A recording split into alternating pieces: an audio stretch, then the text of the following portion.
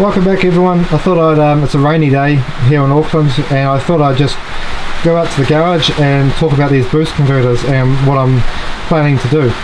So what I've been doing is while I've been testing the power wall, I've been using this 600 watt boost converter to charge the batteries back up again. So this is rated up to 60 volts on the input and up to 80 volts on the output. So I need about 83 point something volts. So this is this goes over the 83 mark, um, but it seems to sit um, at 83 okay. However, it's not as powerful as obviously its big brother, which is the 900 watt version here. Um, I'm trying to talk loud enough because it's raining and hopefully you can still hear me. Um, so what I've been doing is I've been using this. I started off with using this one, but ended up blowing it up. So I think I did that with a combination of two things, not cooling it enough, as well as um, trying to pull too many amps uh, off it.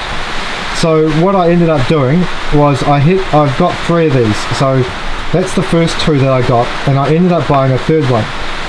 This one here is the cheaper version of, the of well, it's the same version, it's the same cost, but it looks like it's the cheaper version.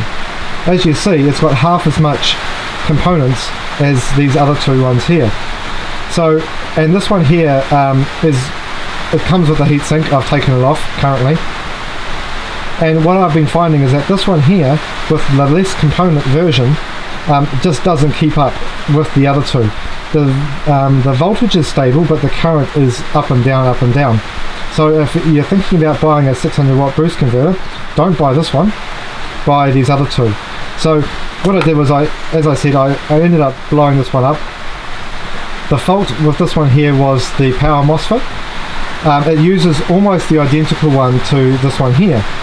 So given that this one here um, is not that stable, what I thought I'd do is I'd take it apart and unsolder the power MOSFET that obviously used to go in here.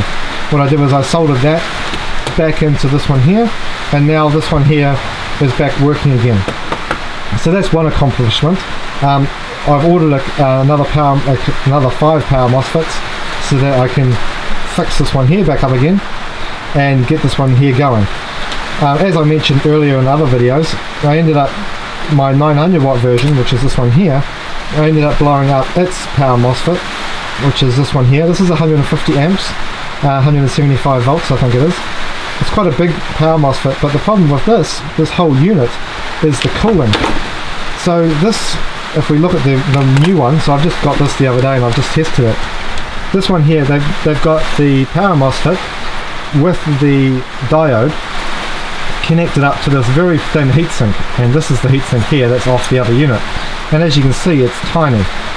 And what happens what why this the um, why this one here blew up was mainly because um, it just got too hot and it, it popped. So I was pulling about 13 amps off it and it died so I can't what I can't remember though however is whether it was 13 amps on the input or it was 13 amps on the output uh, I just can't remember that, so it, it's a bit of a, a pain because that would help me identify exactly at what point this thing blew up. But either way, the only thing that seems to be broken on the board is the power MOSFET. So I've ordered another one that will hopefully be here in a few weeks. So in the meantime, what I've got is this new one. Um, and I've tested this and this works fine. So I'd like to use this um, because it's 900 watts and I really like the, um, the digital display and digital um, settings so that I can make it kind of very precise rather than using these silly um, little turn um, pots over here. So this one here is obviously 900 watts. I'd much rather use this unit here. It obviously can put out a lot more power. However, the cooling solution on this is just crap.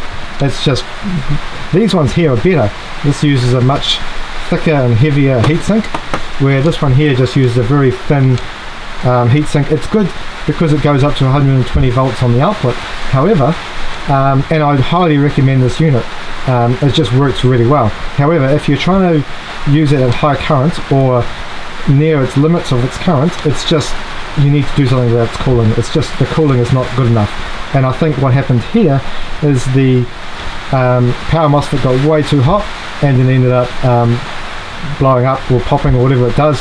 No smoke came out, but it just stopped working and it blew the fuse. So this unit here is all going. what I'm planning to do is fix or upgrade the cooling solution.